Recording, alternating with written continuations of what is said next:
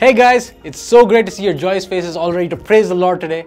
If this is your first time coming to Hope UC, thank you. It's so wonderful that you can be here with us today, especially considering how wavy the traffic and the weather has been the past few days. And if you're looking for a Christian community, you've come to the right place. I think by the end of service, even you'll know why. Thank you for being here, and let's jump into the church news. We live in a time when cultures are being reshaped in the blink of an eye. Manhood and masculinity are being redefined like changing tides. This momentum. Let's get back to the scriptures to find the identity, purpose, and passion to fulfill God's plan for our lives.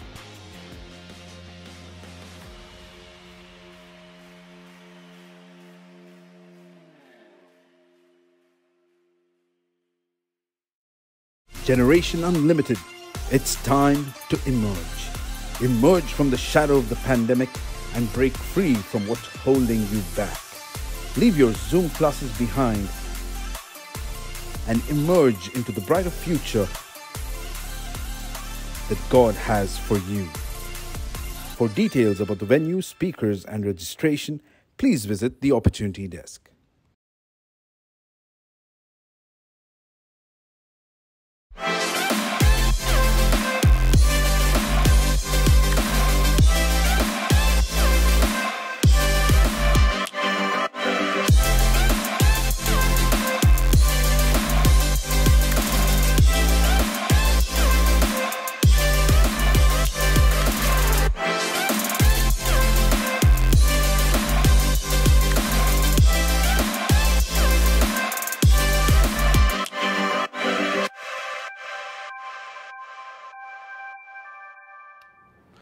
Well, that's it for church news, guys. Thank you so much for listening. It's been great. Um, everything's been great.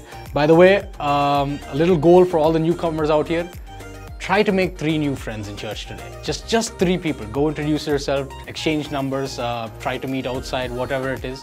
I think the people here in church are very friendly, uh, super extroverted. I think they'll have a great time interacting with a new friend.